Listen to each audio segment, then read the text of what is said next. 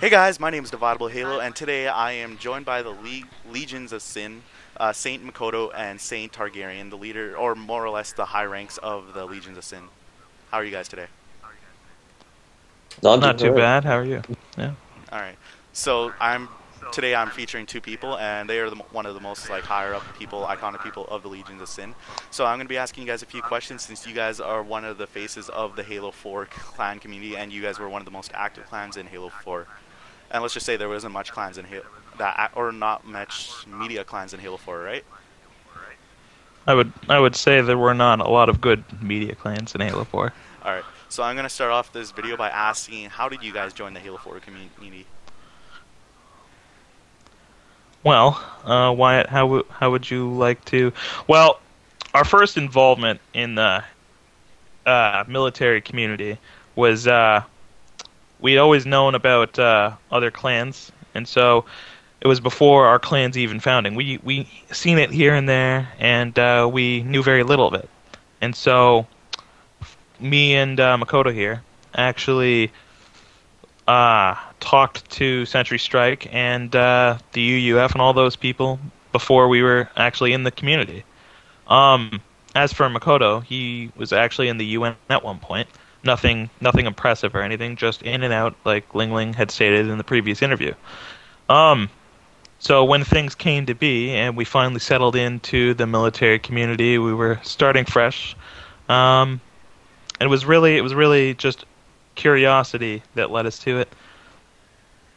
All right. Why would you like to say anything? Um, yeah, like that. That pretty much covers covers it. Um, are you kind of more like looking to like uh, what what we did when we first entered, or just like how we we heard about it, or what? Uh, I'm just wondering how you guys entered it. I'll probably ask you about more about this stuff. Now, there's been a lot of clans. Like your media is one of the one is probably one of the best media I've seen for the new Halo 4, and there's been a lot of new media changes since Halo Reach. Uh, have you guys seen the old Halo Reach media Oh yeah, and like all those Movie Maker projects? Like I, I admittedly Yes. have used Movie Maker projects on my own videos, old videos. But at that time, it was probably the best thing for clans. Now I see like these all new media projects like your guys's, and I'm really impressed with it. Uh, could you tell me like let's let's cover your software. What do you guys use for your software or Mikoto? um, our software has always been changing. Uh, I got pretty comfortable with uh, a software called Camtasia for a while, and uh, for anyone in the community who's joining in now, um, if they're still using Windows Movie Maker, I highly suggest they go to that. There's ways to get it for free, pretty much no problem. But uh, moving on to uh, our later videos and videos in the future, um, the Adobe software is where we're at now. All right. So yeah, the media basically comes down to the community. Like right now, there there has been a lot of media in Halo Reach, which made it really popular.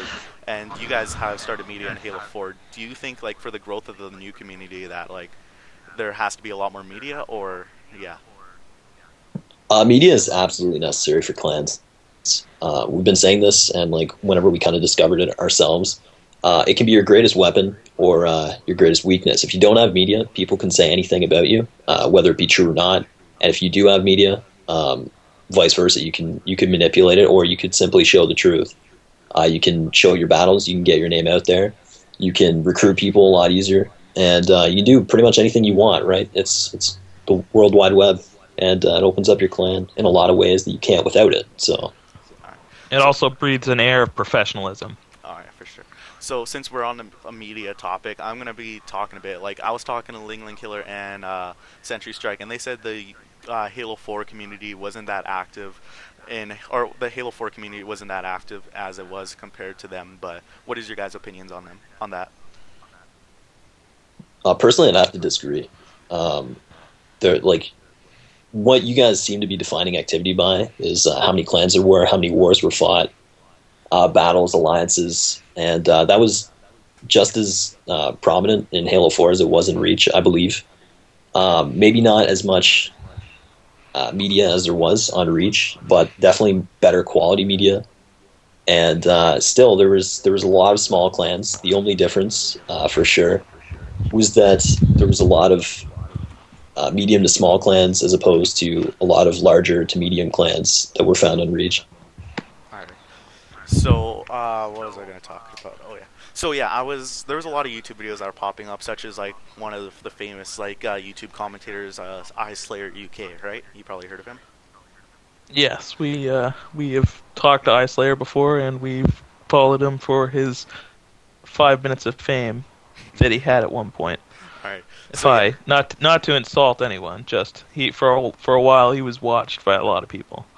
so I'm basically his latest video, which he doesn't upload that much anymore for some reason. But That's that's what I was getting at. Yeah. so it's five minutes fame, but he uploaded a video saying, "Is the my opinions on or his opinion on like the clan community dying or something like that, right?" Uh, and he Yeah. basically, Yes. a lot of people were covering like I bas- basically thought the clan community was dying too because when I go on YouTube and I see a, a guy like that with like a lot of subs and he's one of the faces of the community or his fame, five minutes of fame as you would say, right? Uh, basically talking about is the clan community dying, I, it got me thinking, right? And that's why I started my channel and everything like that. Now I would like your guys' opinions, like on is the, was the clan community dying, sort of, in Halo Four. Um, it was definitely slowed, but I don't think it's dead. As uh, as we go into Master Chief Collection, um, we have to think about how there's both Halo Reach and Halo 4 coming together, and it will cause a lot of sparks. Um, what the Halo 4 Halo Reach crisis was was that uh, the community was kind of divided and separated by the two games, and uh, I feel like that caused a lot of inactivity rather than uh, continuing with the norm for the community. So once everyone gets situated on Xbox One and 343 fixes uh, their stuff, um, I feel that the community is gonna have a drastic pickup again. Alright. So uh, one thing is, are you guys on Halo Master Chief Edition right now, or Master Chief Collection right now, or still Halo Four? We are in between right now. We are officially waiting for the Christmas drop for our last boat out, as uh, as I'm gonna call it, from the 360.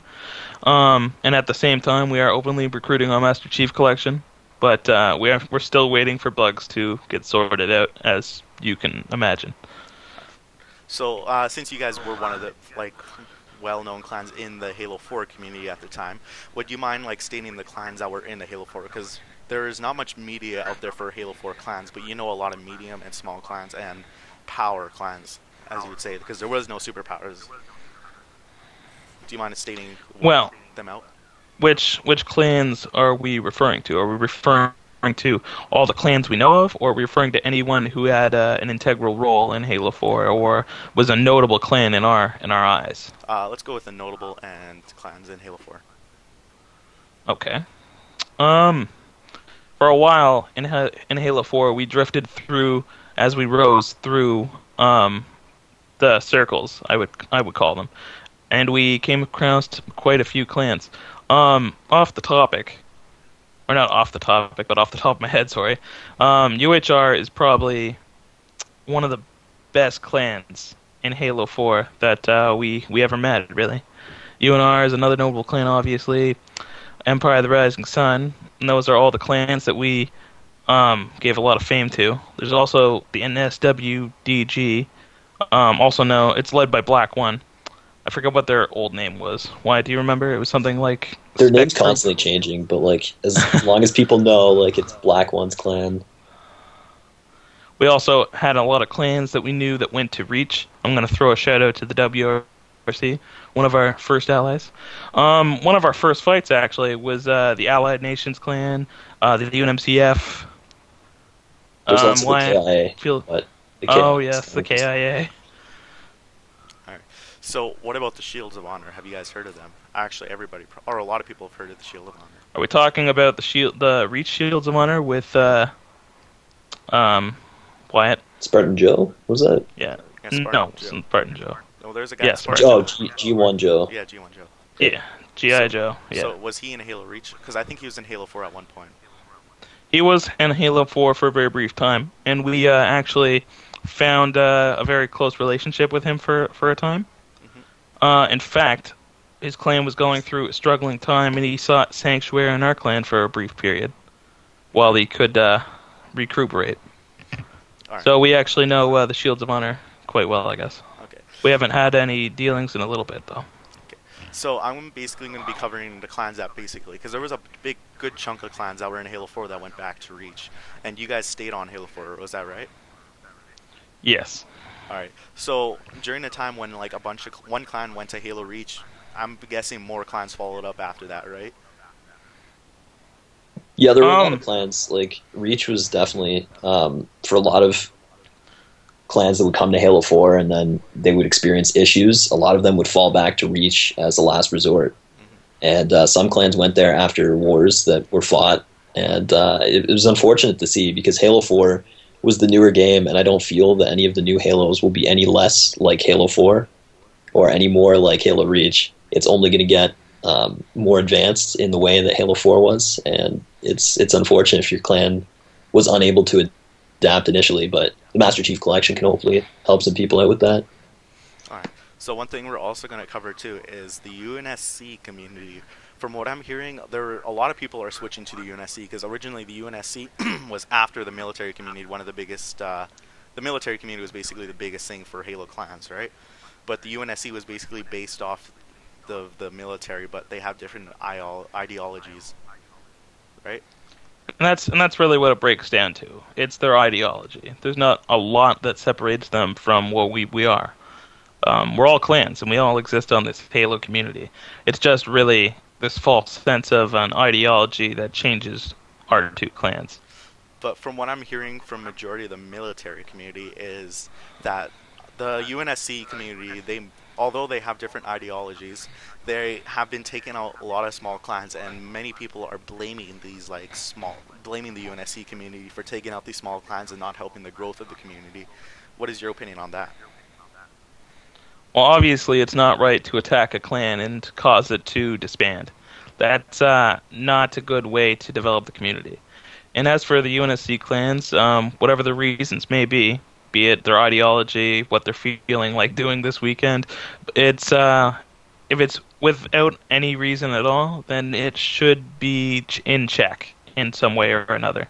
But at the same time, if we uh, try to go on some crusade against the UNSC community, that could cause uh, a lot of clans that are starting up now to get dragged into it, and we could create some new powers, and at the same time cause a big loss to the clans that are just coming up now. All right. So, since you guys were involved in the Halo 4, I'm going to ask you about a couple of clans that have popped up and probably started conflict. Let's start with the Warhammer clans. Do you know? You know? Um, have you heard of the war? You heard? You talk about the BA, right? Let's talk about them since they were iconic.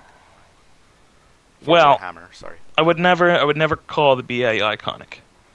The BA, in in essence, were a troublemaker. They would never want to play by the rules. They would never admit to any kind of defeat or loss. They would only seek to start trouble. They bet they backstabbed everybody. Essentially, they were only in the community for shits and giggles, and that's that's the way they saw it. Part of my language, but that's that's how we feel. And at that point, like there were so many other clans in the military community that disliked the BA or know how the BA are that like they would come together and then say, "I don't see BA as an actual clan." In fact, um, we had a war, and at one point, uh, it was agreed upon by the by uh, us and the other clan that if um, the BA joined the game as a third party because they were actually known to do that, we would both put aside our differences and kill the BA, and that actually happened. All right. Like so have BA you heard, is actually sorry. ridiculous. so have you heard of the United Federation? Or The United EUF? Federation, like the UF or the UUF, or Or the it's UF. The UF. It was run by UF Warlord. Or that's his current name, actually. Do you know who UF Warlord is? uh, they weren't around We- for very long, from what I understand, right? So from here, this is what I'm going to explain to you right now. So UF Warlord, he's all over the Halo clan community, and he's not a liked guy. He has a weird personality, but Wait, sorry, were they always known as the UF? they were, actually had a bunch of clan names. Honestly, the guy who led a UF Warlord, What was what was their last one? last one was the Ultramarines. Okay. So anyway, Before that? before that, the United Federation. Okay. Yeah, just to tell you, this guy posted on Facebook his past clans, his top 10 clans, but yeah, he was a Warhammer clan guy. So I'm guessing you probably don't know much about the Warhammer other than BA who put who put the name, bad name out there for them. yeah, I feel like if if any Warhammer clans were similar to BA, or if there's any Warhammer clans out there that are trying to come in the community, like there's gonna be a really bad stigma about them for a long time. Yeah. All right, so we're gonna move on to your future of your clan. What do you guys do? You guys have a future, or what do you plan for the future? Well, Mikoto, I'll let you uh, talk about our enhances in media.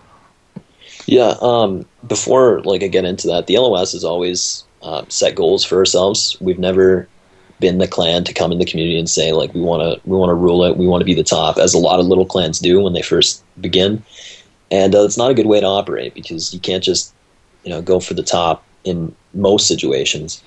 So as with Halo 4, when on the Master Chief Collection, I imagine we're just going to set realistic standards to begin with and slowly work our way up like we did previously.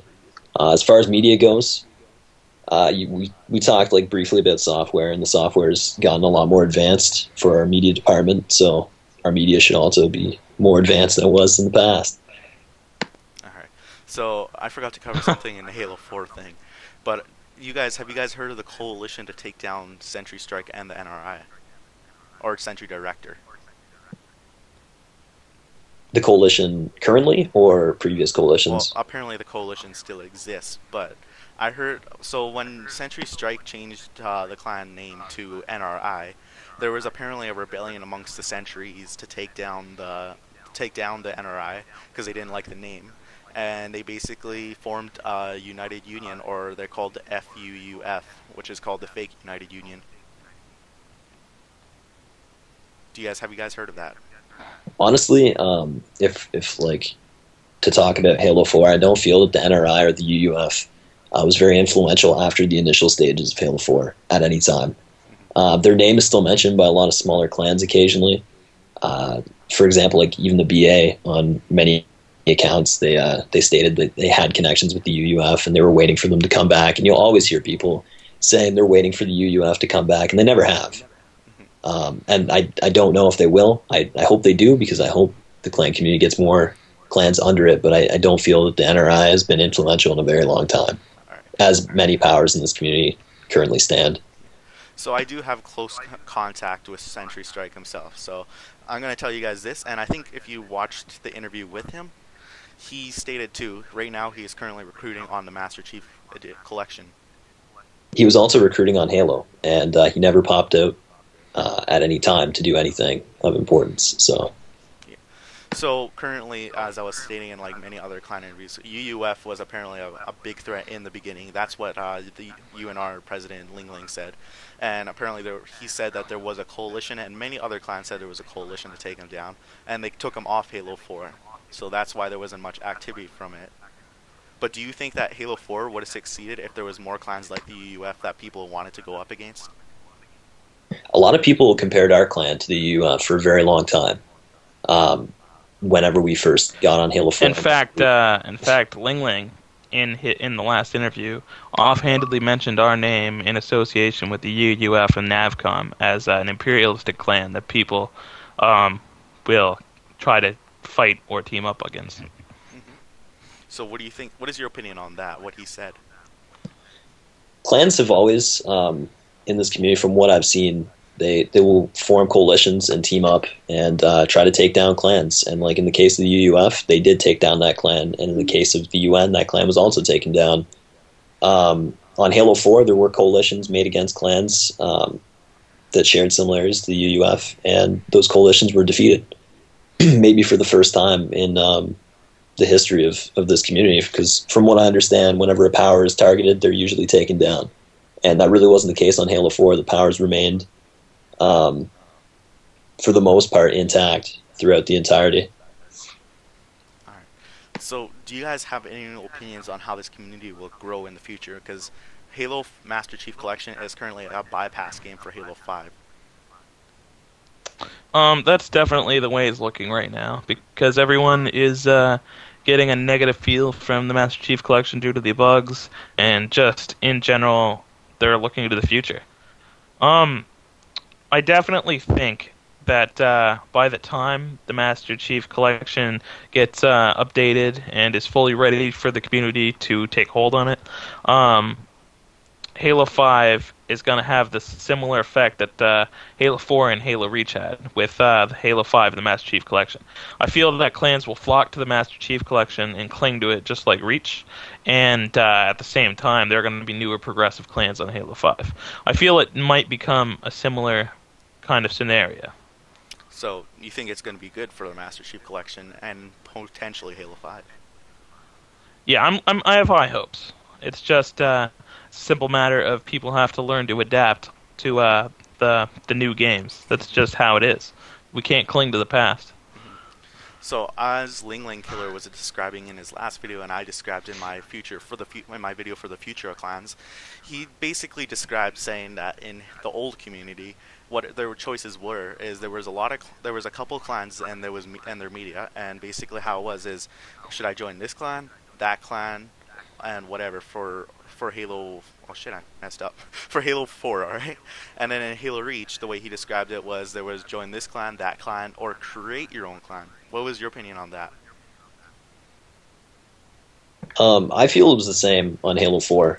Um, what wasn't mentioned in, in your interview with Ling Ling was definitely there were a lot of new clans constantly on Halo 4. A lot of these clans didn't make it. A lot of these clans weren't notable, and a lot of these clans didn't have media.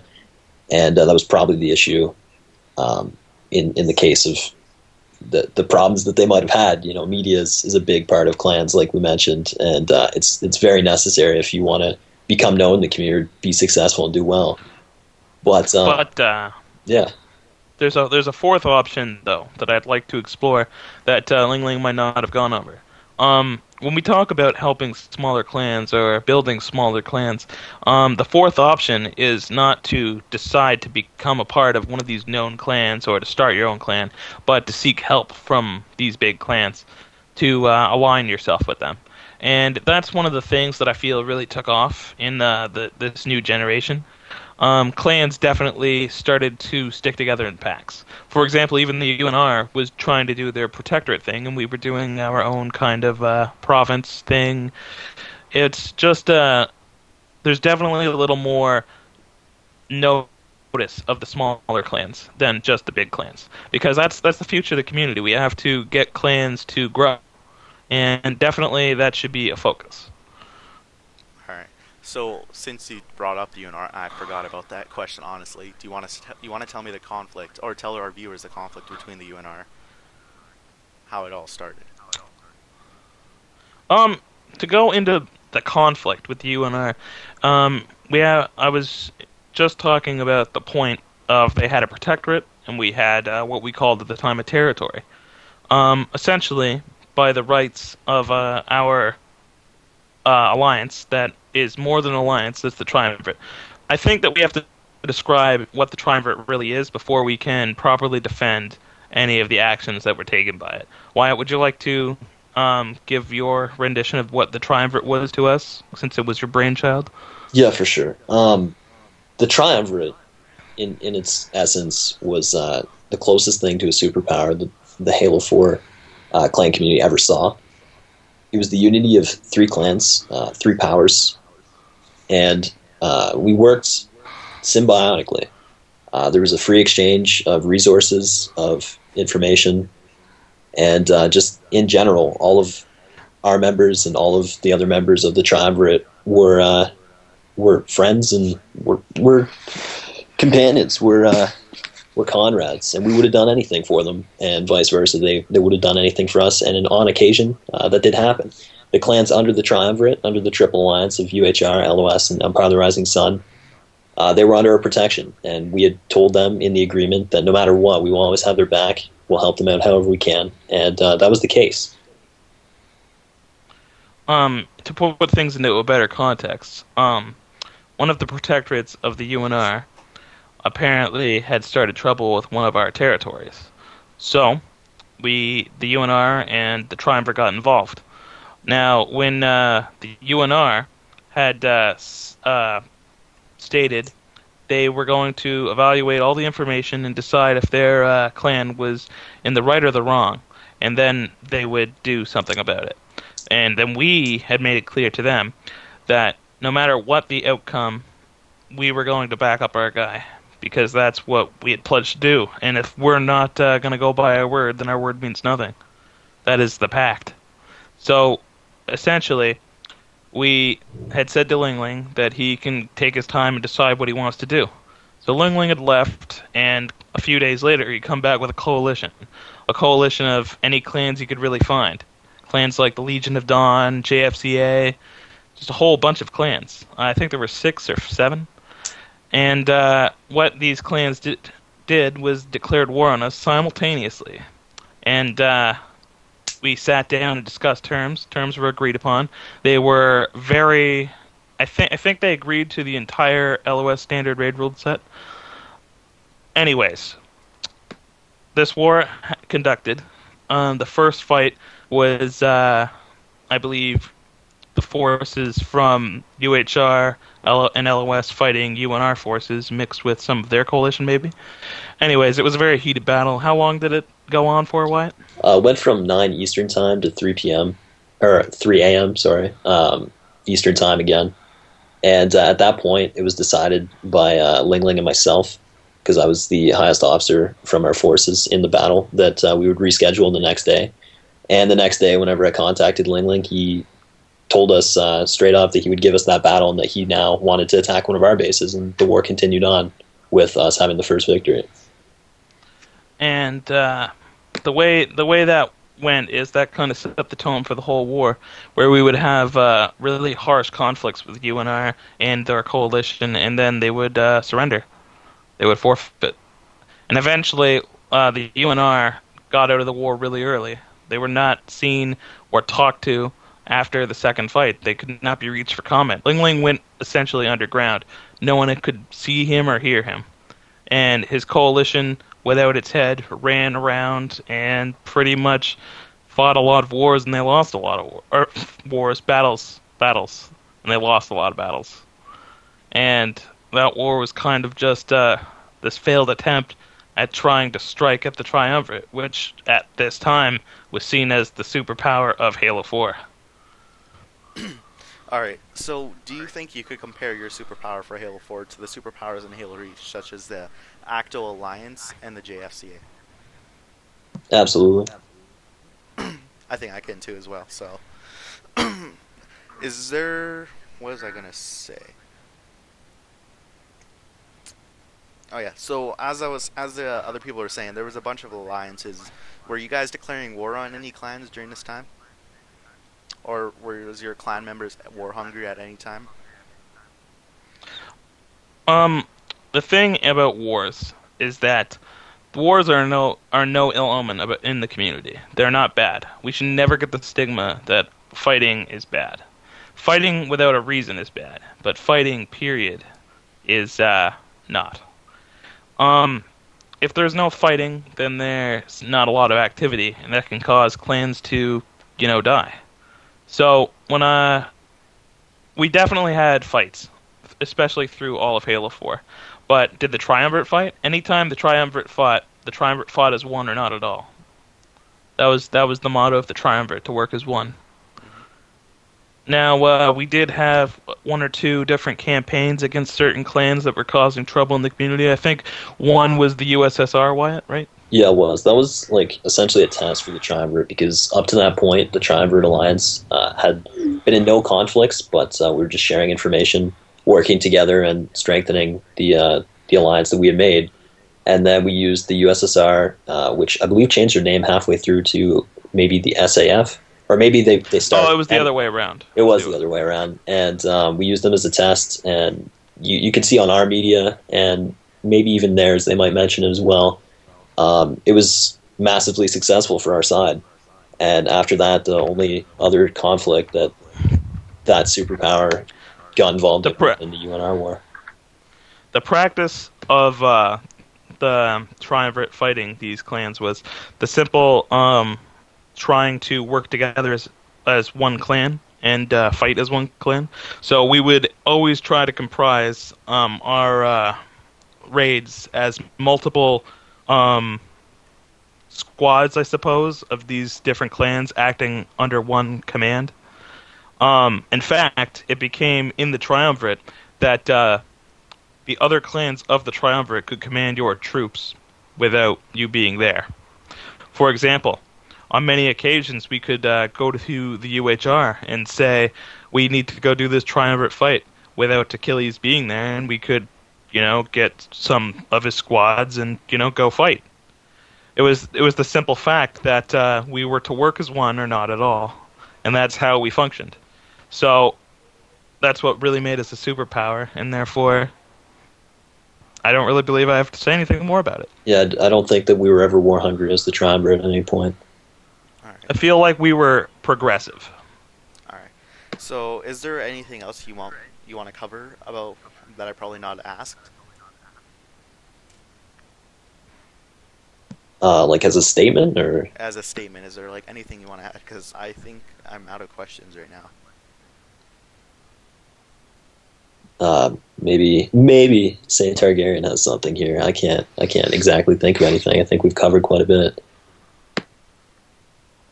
Um, as for the status of things, uh, it has been mentioned that ideology plays a an integral part in the community. It it's it's how uh, apparently the UNSC clans function. It's how clans like the Sangheili community function.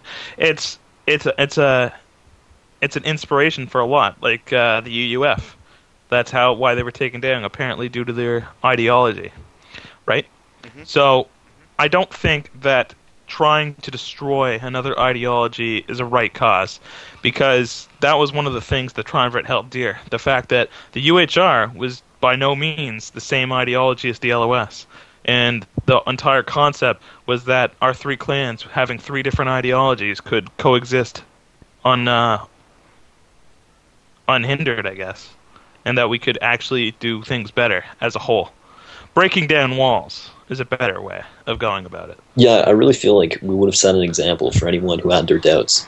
And like even right now, from the interviews you've done, I definitely feel like this divide is again beginning, where uh, the ideologies are going to play a big part. And the LOS definitely had like a very aggressive ideology throughout our history, and it wasn't until we met the Triumvirate that uh, we put that ideology to maybe better use. And you know, we work symbiotically with uh, a clan that is, uh, for the most part, entirely peaceful, which would have been the Empire of the Rising Sun. A lot of people know them as extremely peaceful. And uh, the UNR, which was like your typical United clan at, at first, even though they ended up changing their style to a more Greek based uh, clan, they still maintain that united principle of you know peace and stopping wars and doing the right thing. And you know, we worked together and we did things on Halo 4 that hadn't been done in a very long time in this community. And I feel like if if that isn't an example for anyone else, I, I don't know what is. All right. So we're getting near the end of this video. Is there anything else you want to say? There's there's there's one there's one thing that uh, I would like to say in regards to media mm-hmm. that uh, I feel like there were many accomplishments done in the Halo 4 community that were pioneered there, and this new way of media that we were talking about in the early on in the video uh, was definitely one of them. For example, um, we were talking about Windows Windows Movie Maker projects and how they were the old media, and like our new media, with is which was I don't how would you describe it? What? Um, definitely like the biggest change was capture cards seemed to be more available for people. The successful media of Halo 4 uh, was made by people with capture cards. And not to say that if you don't have a capture card that you're you won't be able to have media because I mean if you look at the Arrow Nation or some uh, smaller clans, some of them just point a camera at their TV and, and commentate over it. And you know, any media is better than no media. But uh, advancements were definitely made because if you look at Reach, uh, you, you, know, like uh, I I don't know exactly how to describe it. Like there was quite a few clans that controlled the media for everyone, and that's also not necessarily a great thing because for Halo Reach, I believe they had the United Nations, the United Union Federation, the Department of Defense, and you had a couple side medias. But people listened to the big medias the most. That's how Strike's ideology was spread, because he was a big media. So yes. So yeah. So are you guys done summarizing the media thing, or any more you want to say about that? Um, the the only thing I really want to make a statement about is the fact that Halo 4, I feel, is, is definitely a changing force for media, the way it's done, and I feel that it's going to carry over into the Master Chief Collection. So, uh, if you have an outdated media, you should definitely look into the way that media has been changing and, um, you know, get a good feel for it. All right. So now I think we're finally at the end of this video. So Yes. I'm gonna I'm gonna ask you the same question as I asked all the other uh, people I've interviewed. Is there any suggestions you could give to any people that are that you think can improve the clan community, like people that are watching this right now? Like if there's people that want to create their own clan, give them suggestions or what you think that we should do to benefit this community. I would say keep in mind the options that uh, we, we mentioned earlier. It's not make your own clan, join a large clan, or uh, or die. It's there, there's more options now. Those options we You can definitely seek help. on Halo Four, and like you, should you should look into this whenever you, you come in. Keep this in mind that you don't necessarily have to have it you against the world. There are clans out there that will help you. You and I are saying that they'll help people. The LOS has always been around uh, since our empire was founded to help clans, you know, under our empire. And uh, there's other clans that are doing this now that are, are you know, copying these ideas and, and following through on it. So, you know, get yourself And, uh, people and work together. As for advice, I would like to say that uh, for a new clan, I, w- I would give them the, the secret to LOS's rise. It's really set goals for yourself. When LOS came into the community, our our primary goal, our first goal, was to become a known clan, to have a name that people knew without meeting. And then once we had achieved that goal, we set a new goal to become a power. And then when we became a power, we had a new goal to help other clans get out of this ditch. And that's really what it's about. You just need to set goals for yourself. Don't come into the community and then expect to all of a sudden tomorrow being a big shot. You have to pace yourself. Set set steps, work with your guys, become friends, and you know, really enjoy yourself. Because if you're not going to enjoy the community, then your clan's not going to last. All right. So I think this is probably the end of the video. We've covered a lot in this video. There was actually a lot of good ideas and good topics discussed. I'd like to thank you, Saint. Oh crap! I can't say your names anymore. Shoot. Do you want to say Saint your? Mikoto Saint Mikoto and Saint Targarean. Yeah, I'd like to thank you, Saint Mikoto and Saint Tar- Targarean, for doing this interview. I'm pretty sure a lot of people will be happy with this interview as well, and it'll probably benefit the community for sure. So thank you guys for being on this interview. Yeah, man, anytime. Definitely. Anytime, definitely. We would love to have a follow up. All right. Yeah. Now, off topic of this video, I'm gonna basically interview. I'm gonna say something to you viewers out here. Later on, I am planning to bring a, big interview, or more or less a debate, of a bunch of uh, clan media guys, such as the LOS, the UNR, the United Union, and maybe some more old idea, uh, more old iconic figures to the community that were in reach. So yeah, that's what I'm planning to do. And you guys, I'm guessing, are looking forward to this debate as well. Yeah, we're always down for a debate, I think. Anyone who knows us. All right. All right. So before I end off this video, I'm gonna guys, I'm gonna tell you guys who I'm doing the interview with next for the viewers and probably you guys. If you guys don't know him, he's probably one of the founding fathers of the military community. It is sent. It is Shadow Sniper 172. So yeah, have you guys heard of him? Oh yeah, Definitely. yeah, yeah, for sure. He has agreed to do an interview with me today, so I'm so happy. Oh, that's good. All right. All right. That'll be something to look forward to. Anyways, guys, I hope you enjoyed this video. Be sure to leave a like and support our community. If you guys have anything you want to comment, just leave it down in the description below. I'm pretty sure they want to hear it, and I want to hear it too. Yeah, guys, show your love for the LOS. We are Legion, we are Sin. Anyways, that is it for this video. Thanks for watching. Bye.